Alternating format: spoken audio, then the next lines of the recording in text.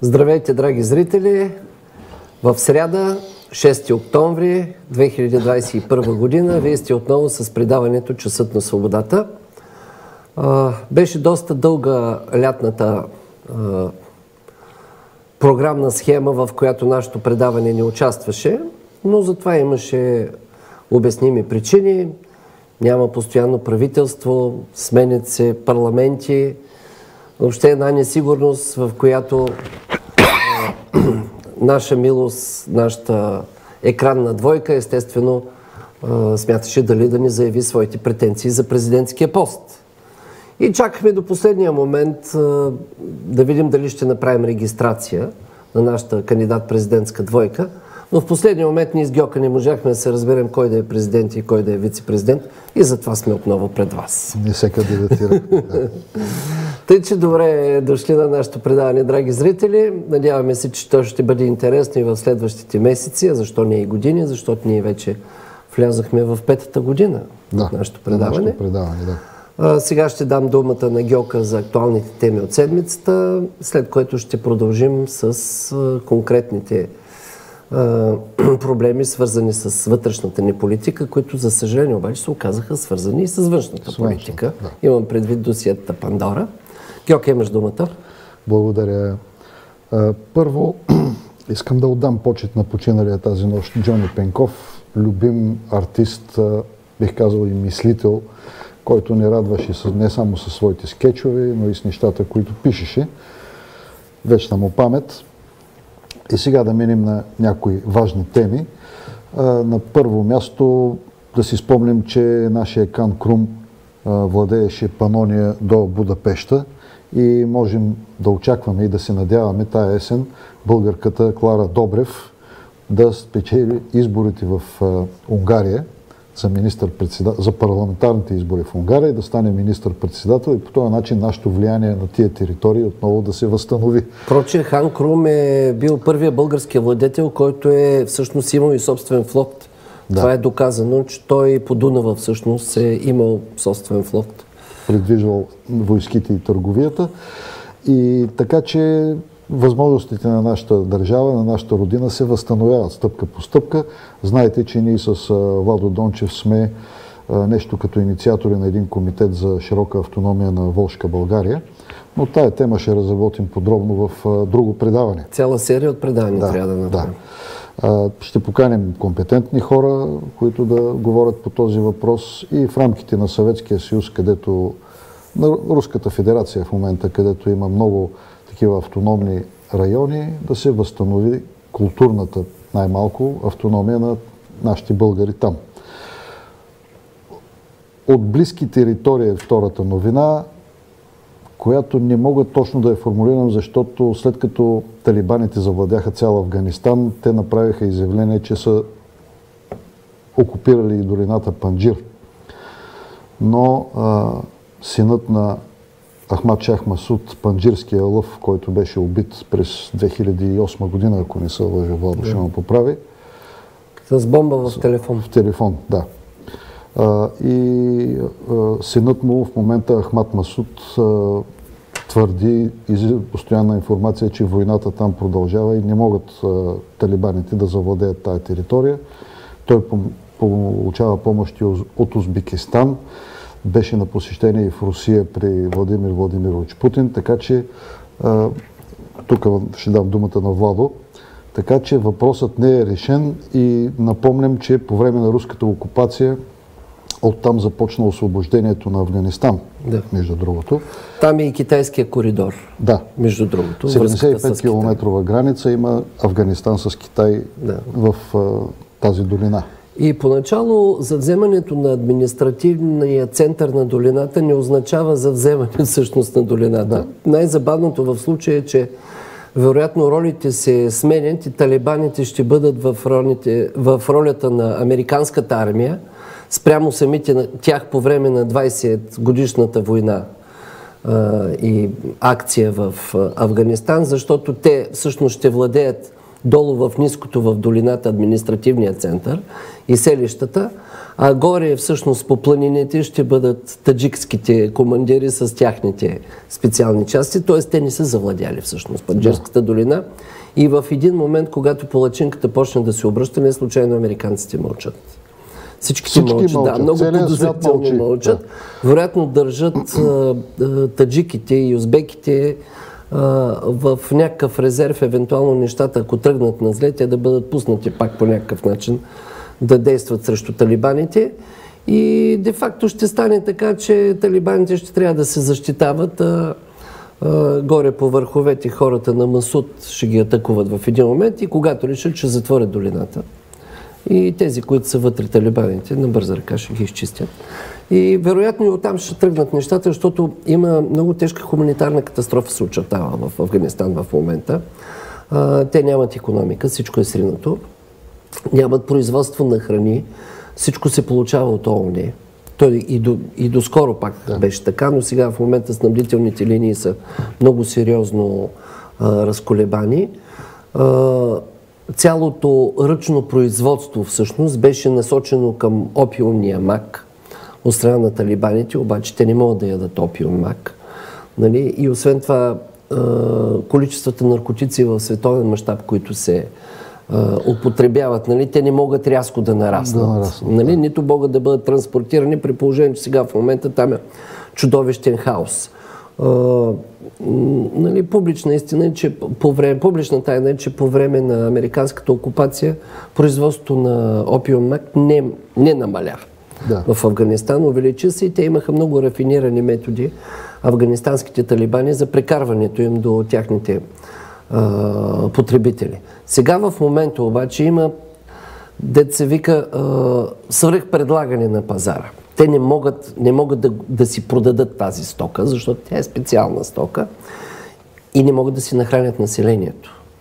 Колкото и да упражняват някакъв терор, връщат пак членовредителните наказания, публичните наказания и така нататък, те не могат това население дълго време. Забраниха на жените да спортуват. Да, забраниха на жените да спортуват, пак ги забраниха, сегрегираха ги вътре в университетите, почват старите номера, но този народ трябва да яде и той, ако е гладен, нали, веднага ще почнат антиталибанските акции. Освен, освен това, те имат много проблеми от една страна с Ал-Кайда и Ислямска държава, нейния наследник, които продължават нали, до голяма степен да имат някакво влияние там. Дори има и атентати, които почнаха да правят. Има други съпернически групировки, които те първа, когато намалеят ресурсите, ще почнат да се противоречат помежду си. Тъй, че аз предвиждам в следващата една година сериозни проблеми в Афганистан. От друга страна това обаче води до сериозни проблеми и за Турция, и за Европа, защото беженския поток те първа има да се засилва. Всъщност. Сегашният беженски да. поток не е от Афганистан. Да, да, той не е афганистански. Да. То, да, той си е стандартния нали, поток, който е сирийци, иракчани и така нататък. И хора, които се опитват да правят иммиграция от тези, които не са се установили в Турция.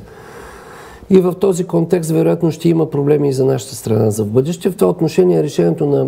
Тук малко се отклонявам, да, но тъй като темата е такава, решението на, на правителството, на служебното правителство да прехвърли поддържането на оградата от областните управители към МВР е напълно разумно. Да, добро е. Защото това беше една корупционна схема, при която доста пари се освоиха през областните управители под контрола там на НФСБ там и Да. тези. Но положението на много места от границата е трагично, буквално трагично. Тук и да напомня, бъде че а, сътрудничка на Валери Симеонов, или нещо, заместник-председател беше в неговата партия, беше арестувана за, м, трафик на за трафик, емигранти. да. Да. Така че нещата имат връзки. Защото те знаят къде е паднала стената, къ- къде е Да. бутната ограда. Освен това са близко до хората, които издават паспорти. Имам предвид господин Каракачанов, аферата и така нататък. Тъй, че ние напомняме за този проблем, защото вероятно следващата година ще го говорим за него, когато нарасне този миграционен натиск, но нека да продължим по твоите теми.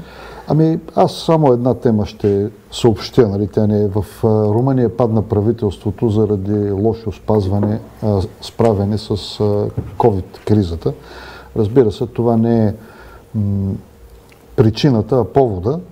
А, значи в Румъния има големи политически турбуленции още преди нашите в България, две-три години преди той започнаха управление на младсенство да има и така нататък. Но това е нормален демократичен процес. Просто трябва да наблюдаваме ситуацията там каква е, защото това е наша съседна и приятелска страна.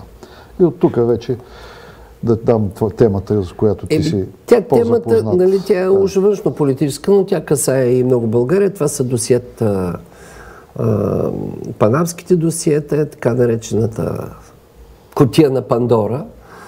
А, цялото разследване вече продължава години от голям международен консорциум от журналисти, в който участват стотици, дори хиляди журналисти и най- реномираните световни издания, много и независими журналисти.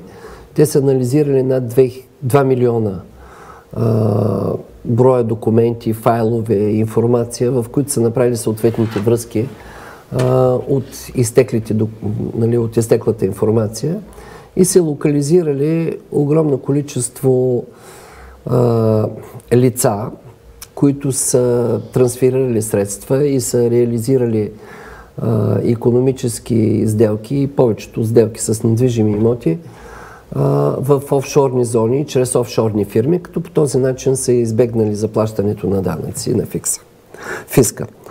Кое е всъщност най-интересното, че след тези имена фигурират доста политици, световни европейски политици, като краля на Йордания Абдула, като министъра на отбраната на Сърбия, като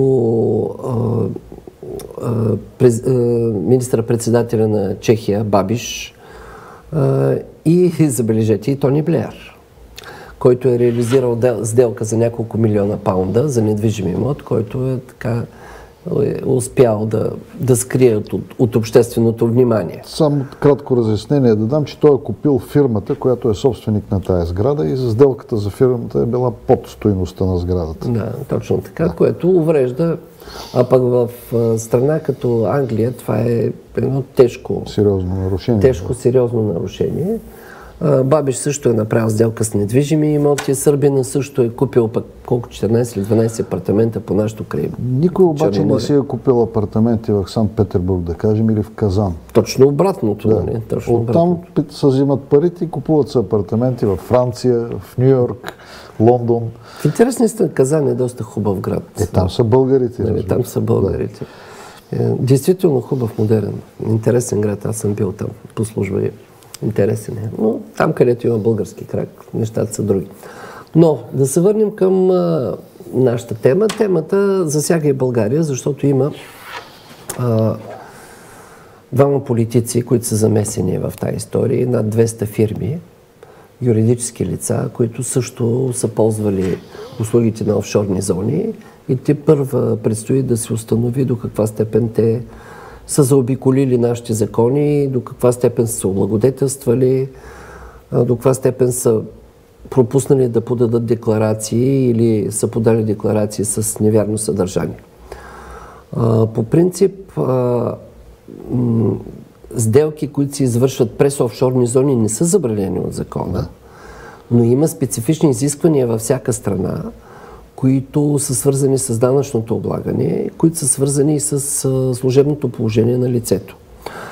Ако лицето а, взема политическа позиция или високо административно положение, естествено, че то трябва да бъде под съответния надзор на обществото и трябва да подаде съответните декларации за имущество, банкови аварии и така нататък.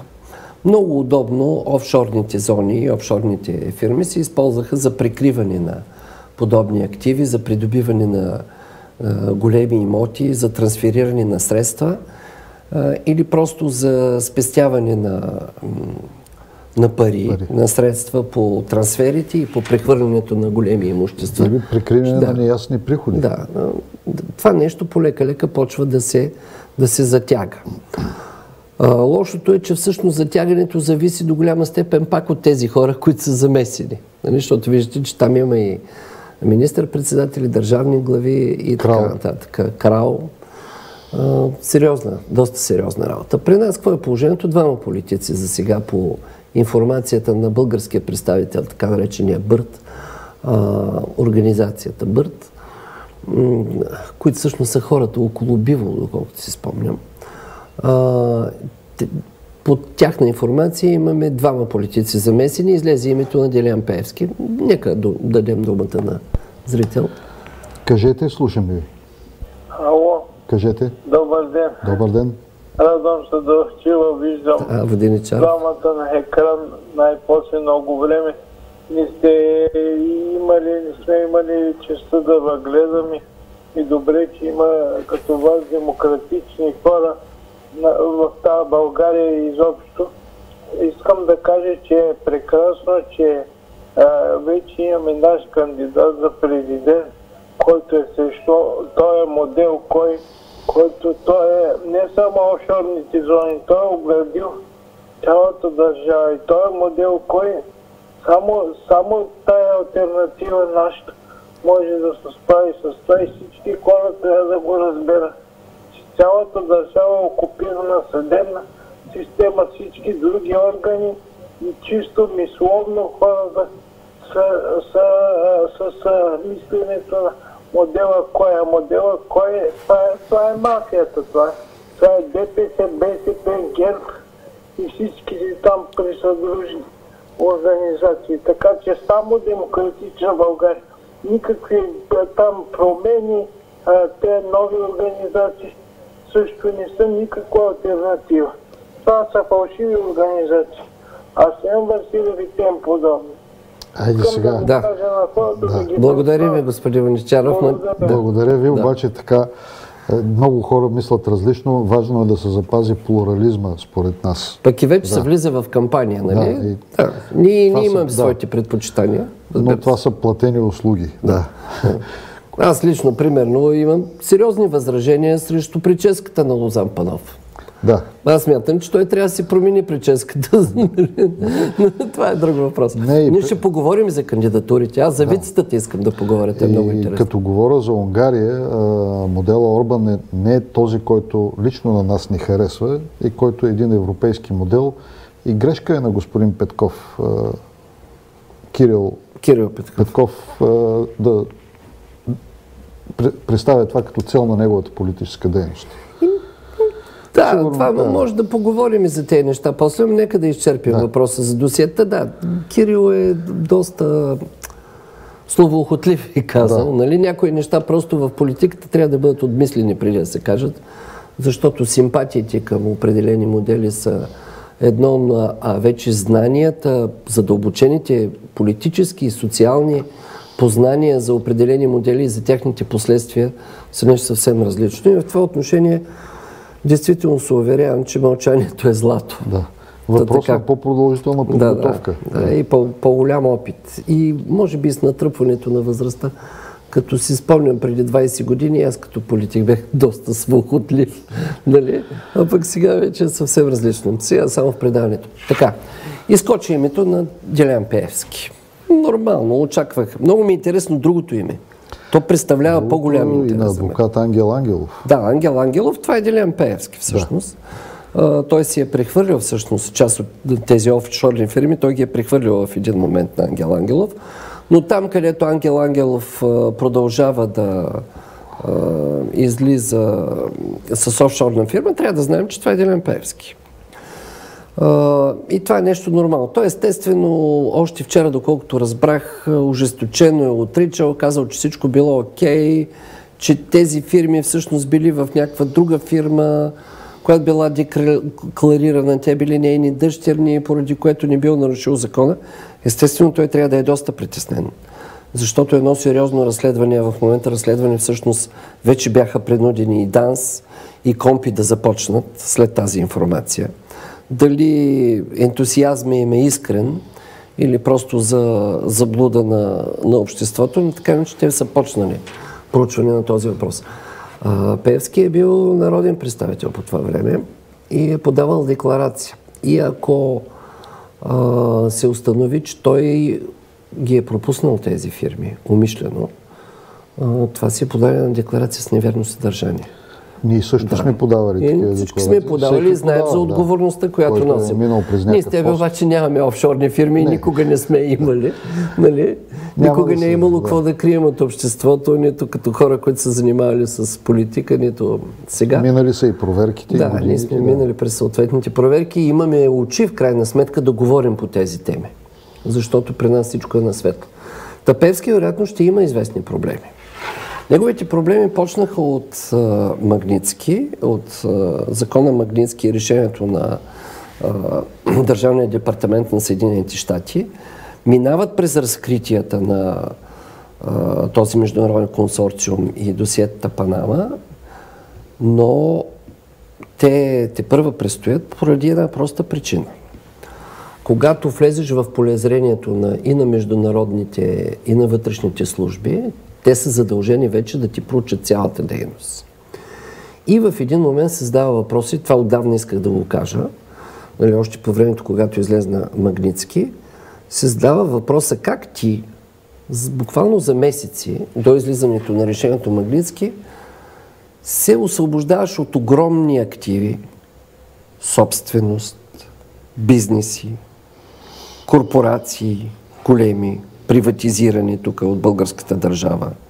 Някои от тях фалирани, някои от тях разпарчетосани на парчета. Общо взето няма фирма, която да е успешно управлявана от, Да. Да, от такива хора. от такива хора. Да. Но голяма част от тези активи в един момент те не са се изпарили във въздуха. Те имат своите правоприемници. Тези правоприемници на общоприят език се наричат подставени лица. Тези неща няма как да избягат. И когато те се концентрират в една определена група фирми, нали, а, които имат определено влияние, тогава може да се приеме, че всъщност тези поставени лица продължават бизнеса на санкционираното лице. Сега няма да говоря с конкретни а, имена, те нашите служби лесно могат да го проследят, но така, по мое мнение, до известна степен Делян Пеевски според мен продължава бизнеса си в България. Нали? Чрез своите поставени лица продължава някои от своите бизнес проекти и въпрос на отговорност на българската държава и на българските служби да проследят а, тези линии, тези връзки и евентуално да вземат съответните решения. Извън а, контекста на досиетата, защото ако действително се установи подобно нещо, Дилян Пеевски ще трябва да понесе съответната отговорност. Не случайно той обича да пребива в чужбина Да. през повечето време. Так, така стои въпроса с тези, а, с тези разкрития а, по отношение на политическите лица. Кое е другото политическо лице ми е много интересно. Ще видим кое е. Смятам, че в Ще бъде подходящ момент, Да. а, между другото, хората, които се занимават с тези разкрития, със сигурност имат и политическа протекция, защото те бих, щяха пострадат. Иначе, Да, и- можеха да ги оплашат, да. можеха да ги притиснат. Те са толкова да. много и силни, И че тази политическа протекция всъщност а, ще окаже влияние кога кое име да бъде извадено. Значи колко са свързани нещата обаче, Георка, за всичките тези теми, за които говорим от повече от година, дори две години, нали? от две години, как да. нещата се навързват и как излизат неща, които ние сме говорили преди повече от година. Говорихме за руските истории, за Скрипао, за, За взривовете, цигари и оръжие за контрабандата в на цигари. И всичките тези неща, полека-лека кончетата почват да излизат. Се оказва, че нашите служби тези кончета са ги имали. Нали? те имат- Ние да. сме им ги казвали. Да. Нали, ние сме им ги казвали и те са спали и чакат някой отвънка да дойде да им го каже. И още един пример. Да. Само да дам примера, Да, да, че да. той ми е. Във връзка с тези офшорки. Излиза пак офшорката, точно на този адвокат Ангелов, Да. нали, на Пеевски, поставя Via Fault. Офшорката Via Fault, която с а, м, силното съдействие на българската държава, И на на, съда. на съда, на прокуратурата, на КОМПИ, на кой ли не, на, на Междуведомствената комисия по военно-промишления комплекс към Министерския съвет, с всички сили се опитваше да отнеме собствеността на Емилиан Гебрев, който беше Дунарит. отровен, да, собствеността върху Донарит, от Емилиан Гебрев, който беше отровен от руските агенти, доказано, Да, нали, да. които вече са доказани. Нали, с имена, с снимки, с паспорти, с всичко, които на всичкото отгоре същите лица са и отговорни за взривовете, които бяха настъпили за две години в България. Шест взрива имаме Шест и взрива, загинали хора. Доста загинали хора. Да. И точно по същото време те хора Те шетат из България. Са били в България, да. Да. И тази офшорка, между другата, което свърз, беше свързана с тая мръсна игра срещу Емилиан Гебрев, излиза точно във връзка с тези, с тези разкрития. Слушаме ви, кажете. Добър ден, Рисков, обществена. Много хубаво сте паднали темата за Емилян Гебрев. А знаете ли темата за тия 10 а, бронирани военни коли, контрабандно прикарани, произведени в България и продадени в руските там републики? Какво правим сега? Кой е военен министр? Кой ги нарежда тия работи? Дали сме НАТО, бе? Ко НАТО, бе, да ме пикае на държавата, бе? Добре. Аз, да, Господин Освен. А, сега всеки може да се изрази според възможности и желанието си. Ние можем да прекъснем веднага човека. Аз четах за такава сделка, но ням, при нас се иска малко по-сериозна подготовка и информация. Нямаме тази можем- информация да, за да може да говорим пред вас. И ще се постараем да натрупаме на следващото или последващото предаване да поговорим повече по тази тема. Не се очудвам, Да, че е възможно да. подобно нещо. Защото трудно ми е да допусна, че руснаците на своя територия ще изгубят контрол върху продажбата на, от трети страни на оръжие. Нали, това е едно логическо разсъждение, не е факт. Но нека да видим малко повече факти. Освен ако не е хора, на да. много дъмпингова цена и освен това, ако тези бронирани коли не са реновирани от, нашата старите. армия, от старите, евентуално и продадени на някаква смешна цена. Да. Вероятно нещо такова се е случило. Някъде Нека, по, да. по републиките може, а може и да е частна поръчка. Ще питаме тук-там, нали, ще видим. Между другото, преди години имаше много интересна поръчка, която беше пък много интересна от една от най-големите а, американски а, военни филми субконтрактори, охранителни, бившата Blackwater. Известната Blackwater, която се прослави. Тя, те я ликвидираха. Да, тя ликвидира. Не, те я направиха Ерик Принс. Собственика всъщност я преименува. Ка- Тя се казва The Academy в момента. Академията. Повече се занимава с обучение на охранители и така нататък по целия свят, но тя е корпорация милиардна. Но те бяха купили самолет от българска частна охранителна фирма, от българска частна авиационна фирма, една от малките фирми, не е на черепа, не е на те известните, професионална фирма, един Ан, който е бил с а, идея да бъде превъоръжен и преоборудван с картечници Гатлинг и с ракети Hellfire, забележи. С ракети Hellfire, слагат на дроновите, за да може да изпъл- изпълнява контракторски частни поръчки в Афганистан. И това излезна в западната преса. Войната между Да. племената. И става дума пак за български самолет, пак старо анче, нали? И така нататък. Защо? Защото фактически при нас а, а, тези изисквания за подобни преоборудвания са по-снижени и те се опитват да заобиколят закон. Значи има такива пролуки вероятно с тези авто, а, бронирани автомобили подобно нещо. Някой за такси може да ги използва. Да. Та, ще изчерпим този разговор с досиетата и ще минем малко към кандидат президентската кампания, защото имаме време. И Фейсбук няколко думи. Да, а за Фейсбук, да. Ми Фейсбук се срина. Както каза един приятел, ще го кажа това на Жоро, много е весело. Един приятел беше писал сега, не знам дали той си го измислил, мисля, че той го измисли, защото той е голям шегаджия. Писа така, с нощи нямаше Фейсбук и се наложи да пообщувам, да си поговоря с жена ми. Тя се оказа много свестен човек. Та, направи ми впечатление, защото аз почти не обърнах внимание на този срив на Фейсбук. То за 6 часа за мен не са кой знае какво. И за нас ние не сме заровени а, с главите в Фей- Фейсбук, най-малкото, защото ние четем книги. Ние сме от поколението, което чете книги все още. Тоест, като отвори хартия на книга, а може да задържи погледа си повече от 10 секунди преди да се, да. се отекчи. Нали? Нещо, което, за съжаление, гледам, че при моите деца вече не се случва. Те се отекчават от дълги текстове. Та, а, това, к- този кратък отдих от Фейсбук показа каква отрова са социалните мрежи и каква зависимост развиват, защото голяма част от по-младите хора едва ли не изпаднаха в, в ужас. Видях какви бяха коментарите след това и така нататък. Начините им за комуникация са били прекъснати. Правиме впечатление, че много от по-младите хора, например, предпочитат не да си говорят лично, да чуят гласа си, ами предпочитат да си разменят съобщения, да. макар че е по-неудобно. И това всичкото показва на, каква, на къде е тръгнало обществото и какви щети можем ние да, да понесем от е, развитието на тези технологии, защото те първо, определено, е, снижават, е, снижават нивото на внимание. На внимание и на концентрация върху определена мисъл, върху определена тема, върху определен проблем. А, снижават възможността за възприятие на човека, като я довеждат във Фейсбук до не повече от пет печатни реда. Да. Тоест след третия, петия ред на печатен текст, а, съответният човек, който е привикнал с Фейсбук, той вече се оттекчава и той, той не може да чете дълги текстове.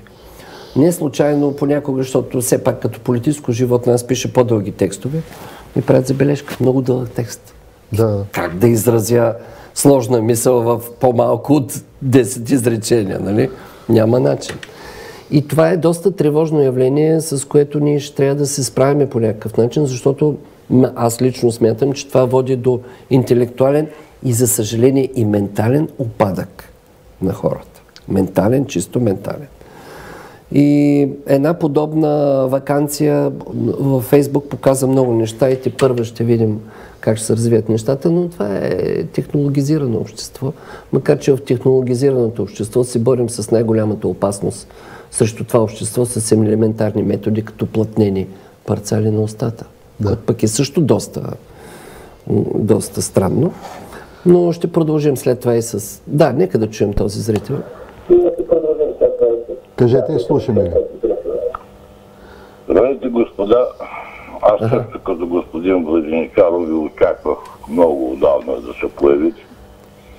И тук на този въпрос, който обсъждате, на мен ми прави впечатление, че точно това изразяване от Фейсбук се пренася и в масовите медии. Точно. Забележите, че няма да. коментар, който да не бъде накъсван по този начин. В кратки форми. Забележете едно предаване там. Случайно го видях. Нали, защото не обичам да го гледам, обаче случайно минах през него от Европейския парламент с евродепутатите. Самата водища е толкова увредена, че на всяко второ, трето изречение прекъсва този, който все пак да стигне до там има мозък в главата си, като един Радан Кънев, примерно. Като няма, дали ги изброявам. Сега реклами няма да правим, тук политически. Това да. нещо се забелязва от хора, които все още четем книги. Така че, действително се много прави, а срещу това нещо единствено е да помолим Зукърбърг всяка седмица по два дена да го спира това нещо. За да, се почува, да, да. Така в крак с нормалното все още. Благодаря, че ме слушахте. Чакам коментар. Благодаря. Между другото, ето една чудесна идея на наш зрител. Да, да, и, и коментарът е много добър и, и се радваме, че, че зрителите ни споделят а, нашето мнение. Действително, това е сериозен социален проблем, но предложението е изключително разумно.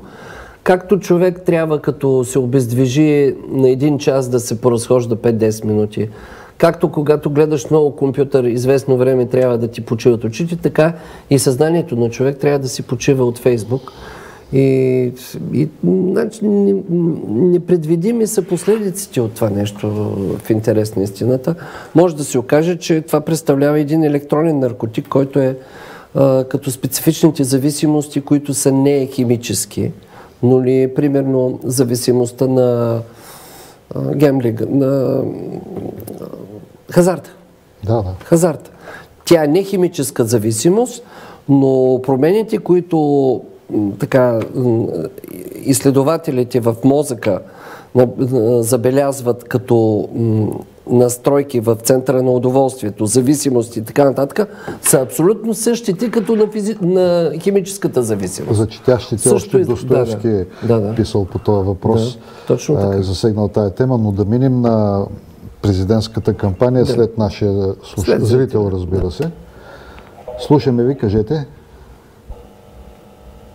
Здравейте, господа Живко Делев се обажда. Няма да коментирам Фейсбук. Аз по принцип съм противник на такива телеграфни разговори между хората, участващи в тази мрежа. Както казахте, четенето на книги за мен е и ще се остане до края на живота ми на първо място. Но искам да ви върна към предишната тема и да ви попитам, ако може да ми отговорите, защото вчера щях да питам Тодоров, ама не ми остана майче време или не можах да се вредя. За мнение по въпроса, след като Делен Пеевски от толкова години е член и депутат на Дружеството за права и свободи, той точно чии права защитава като член на това дружество? Своите или на масата от безправни хора в това дружество, което ги обединява и ги кара да гласуват под команда и когато трябва и за когото трябва и така нататък. Та, Делян Теевски, чии точно права и свободи защитава като член на тази партия? Благодаря ви предварително за евентуалния коментар. Аз мога да отговоря. Значи, първо, ако очаквате да ви кажа, че са само, да ви кажем, че са само неговите права и интереси, не, не е така. Той защитава колективни права.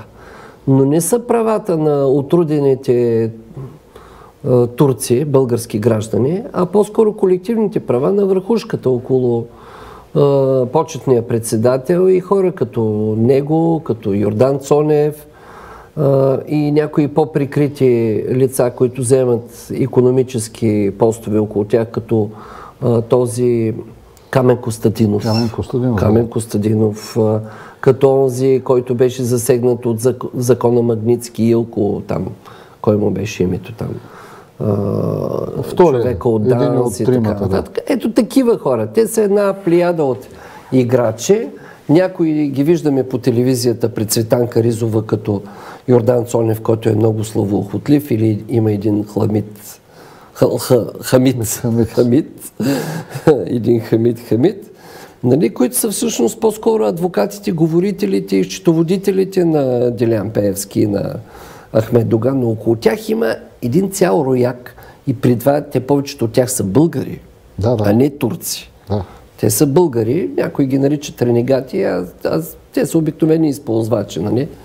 Хора, които се хранят от власт, които са като грос роя, които са се вкупчили там и това е, ця, това е една цяла агитка, която има общ интерес. Това е нещо като Българския футболен съюз, обаче на по-високо корупционно ниво. И корупционно да, и организирано и така нататък. И това са интересите, които се защитават.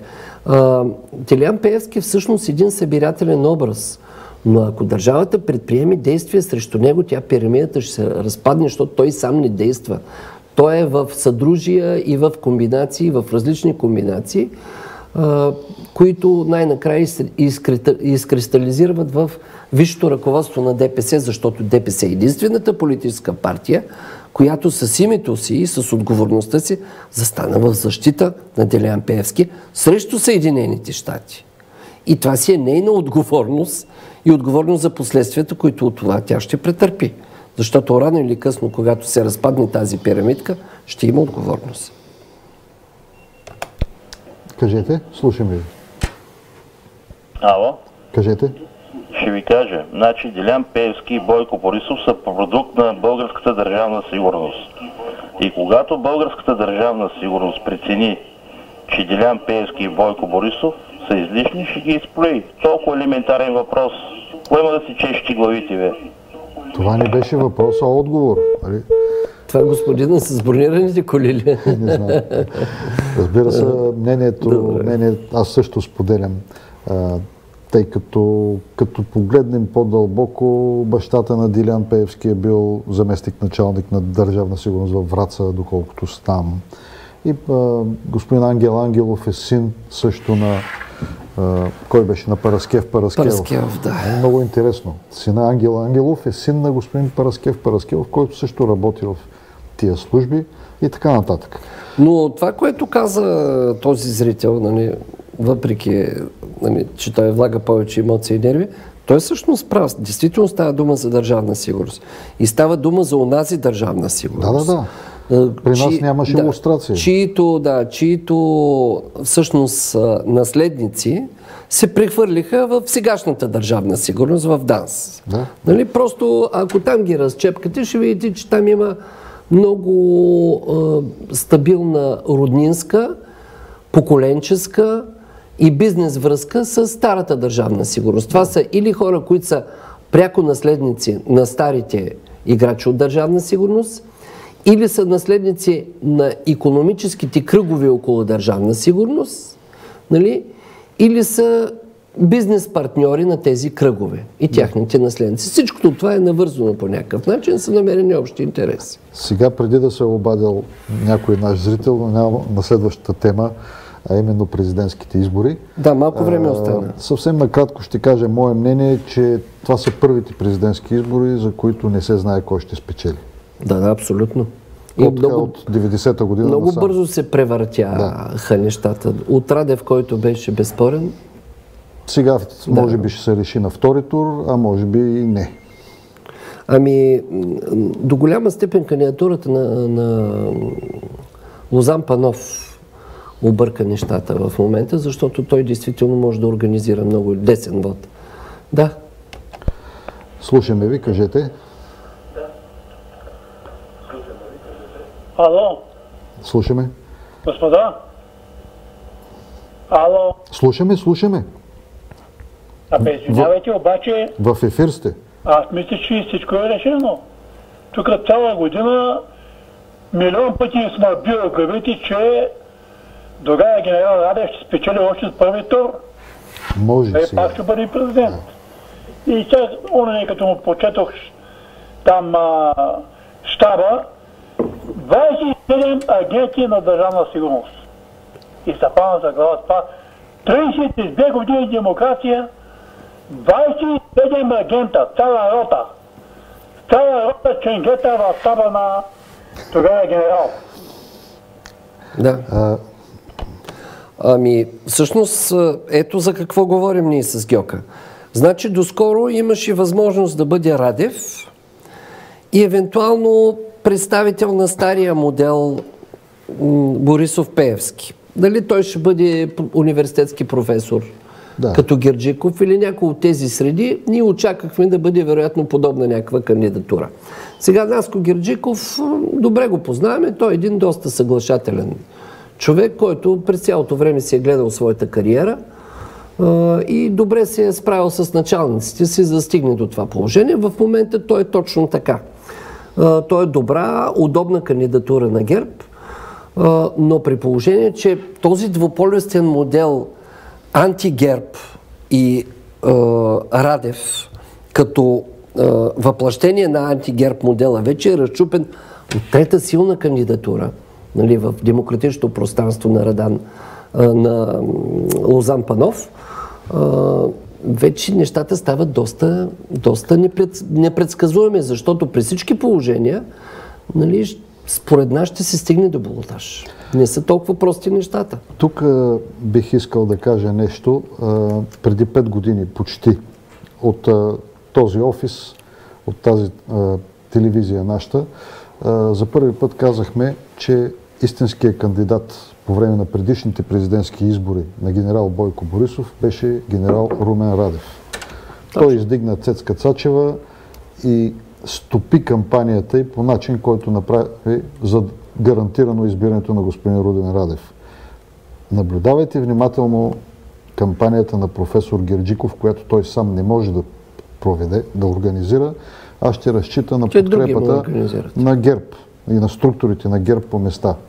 Ще ви обърнете внимание и ще се убедите, че отново, въпреки декларативното противоречие между Радев и Бойко Борисов, истинският кандидат на Бойко Борисов и на тези избори е генерал Румен Радев.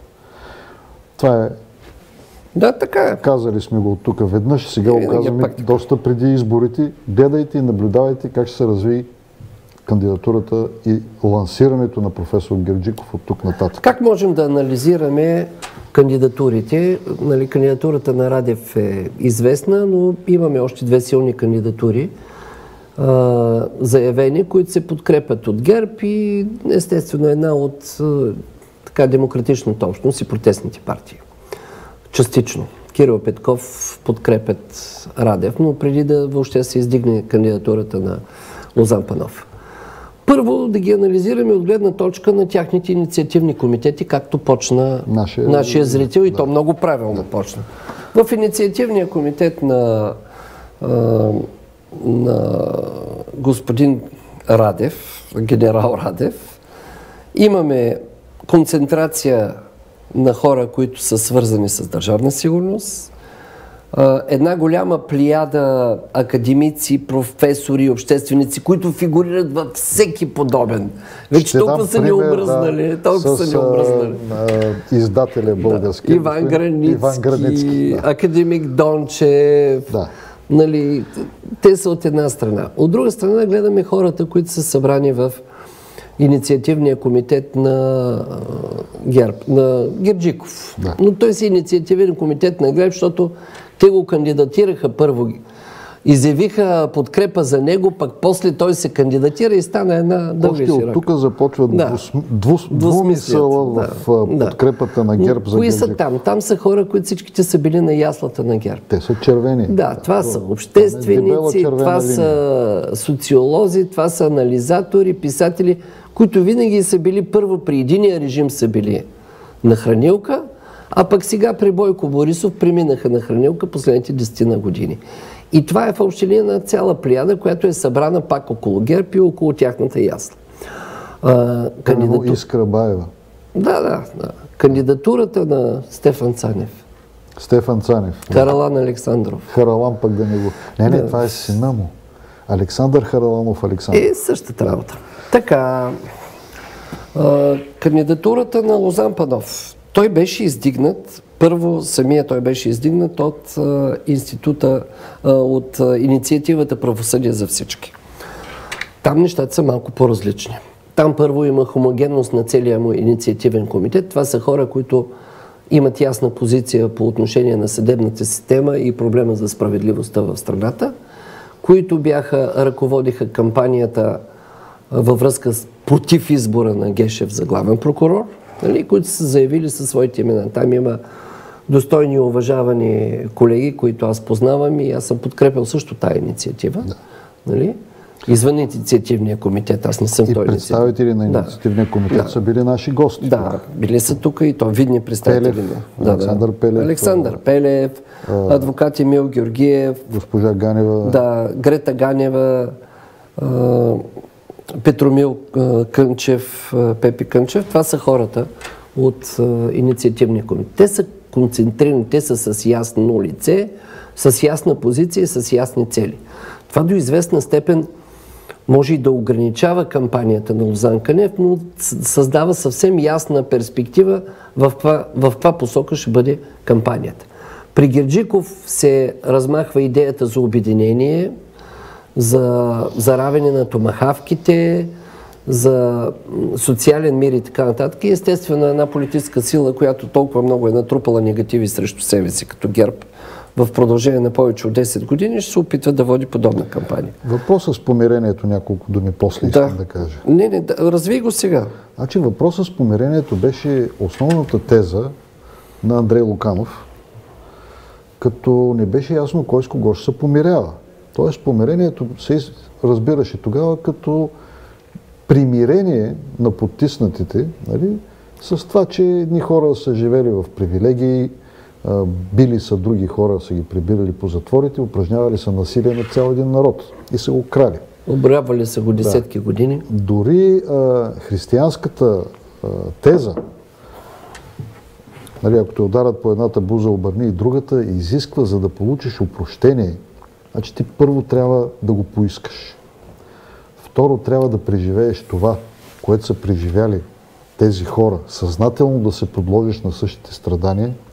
Трето, да обещетиш тези хора за понесените от тях страдания и четвърто, тогава да поискаш да се изравниш с тях, като останеш на тяхното ниво. А те какво ни казват? Ние тук раздадахме, дадахме вчера от Българската банка за развитие 150 милиона лева. Не, еди кой си. Не, Ама не, кой си да се помирим. фирма. Ма дай сега този пенсионер, дето 300 лева взима. Бе, да се пригърнат двамата. Бе. Това е върховно лицемерие. Защото са се хора. Да. Слушаме. Добър ден. Добър ден.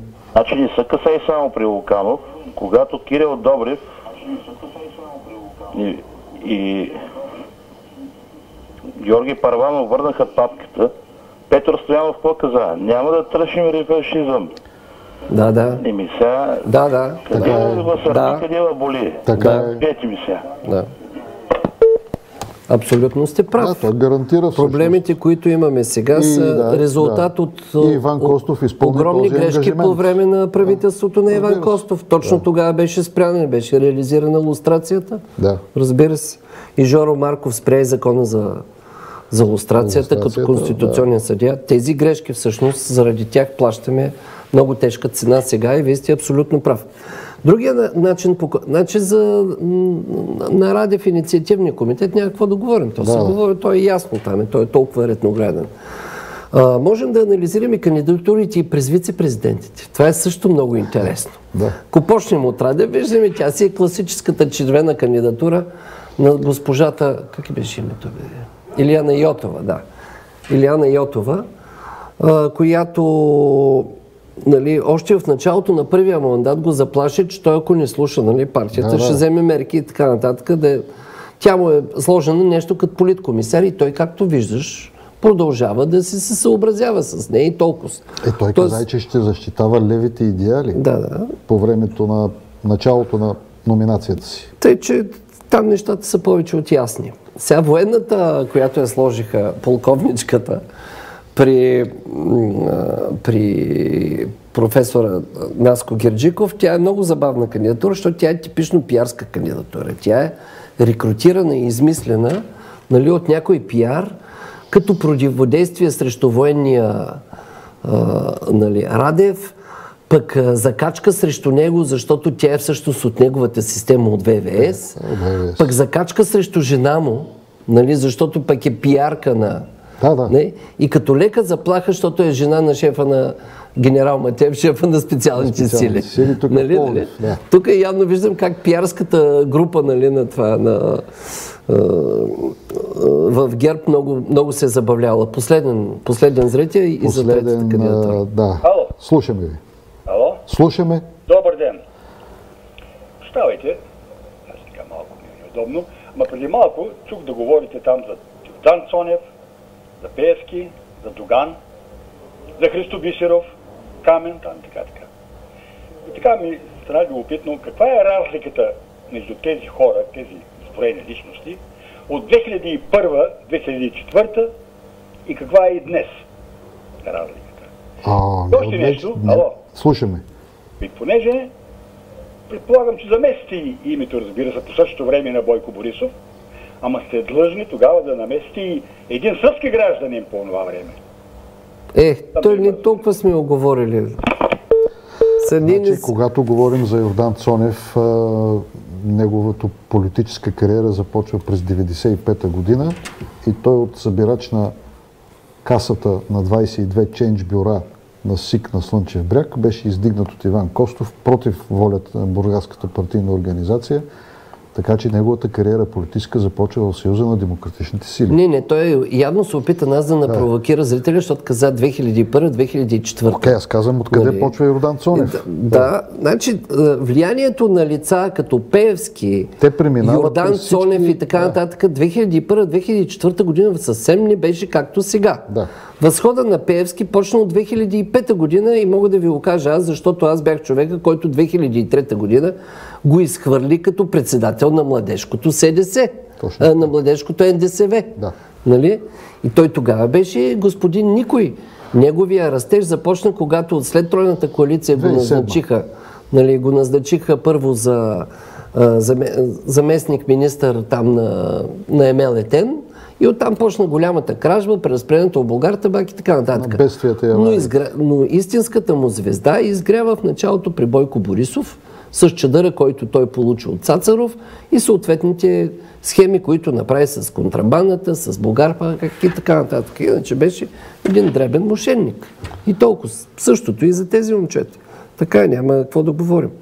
И а, да продължим и за третия вице-президент. Третия вице-президент, например, на Лозан Панов, той също показва сегмента, към който се стремят демократичните сили. Според мен това е неправилно. Вместо да се разшири този сегмент, той малко се стеснява, защото вице-президентската кандидатура на госпожа Касимова, на Хиндо Касимов дъщерята, между другото, е твърде интелигентска и твърде, твърде затворена в един определен социален кръг и тя няма да, тя няма да допринесе много да, за разширяване нали, на покрепата на демократичните сили. Нали, но, но това е кандидатурата в крайна сметка. Но моето лично, така, моето лично възражение като човек, който има определени политически пристрастия и, и си го казвам винаги, че когато пред обществото си се изразявал с едно име, към което си слагал тире и си слагал друго чуждо име на съпруга ти, губиш. Нали? Ти губиш от това нещо. И тя сега в момента е махнала, госпожа да. Мола се е махнала френското име на съпруга си. Но във всичките й публикации до този момент тя е била с фамилията на мъжа си. Тъй, че това е нелепо в общи линии. Те, които са определили кандидатурата, трябваше да го помислят малко повече. Аз лично бих го направил по друг начин. Изключая прическата Има, на да. Лозан Панов. Айде дадем думата на още зрители. Имаме още две минути. Слушаме ви. Господа, може да се обажда само за кратко. Искам да ви посоча нещо. Едно изречение, което съм запомнил отдавна, че без борба няма победа.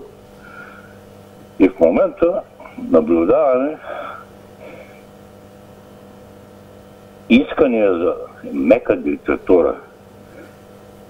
А това е като меката топлина. Бавничко навлиза, хваща тялото и след това следват други неща. Благодаря, ме много хубаво е на нашето предаване, че ние до голяма степен направихме една общност а, с някои от нашите зрители, с които мислим нали, заедно и си допълваме идеите, като да, и в случая така се случва и с нашия зрител. Действително, ние наблюдаваме тези процеси и виждаме, дори ако няма искания за мека диктатура, поне някакви стъпчици в тая посока. Наблюдаваме го този процес и той крие своите опасности. И българският народ трябва да направи своя избор на тези избори, в крайна сметка. Ние искрено се надяваме, че действително ще се стигне до балотаж на тези избори. Че наличието на повече кандидатури, включително и в дясно, ще ангажира до голяма степен а, политическите сили политически интерес на избирателите и те ще отидат по-масово да гласуват на тези избори, за да може интригата да остане, а когато тази интрига остане, тогава и по-голяма представителност може да има от страна на избирателите. И ние действително смятаме, че ако се стигне до балотаж, резултатите от тези избори в никакъв случай не могат да бъдат предрешени. За първи път от 90-та година насам. В, в никакъв случай не могат да бъдат предрешени. Просто нещата много бързо и интересно се развиват и всичко зависи от, всичко зависи от избирателната активност. Но това ще го коментираме в следващите наши предавания, в които ние вече обещаваме да бъдем редовни и да бъдем безпощадни. Да, нали, така, както и вие. До нови срещи. До нови срещи. До следващата среда.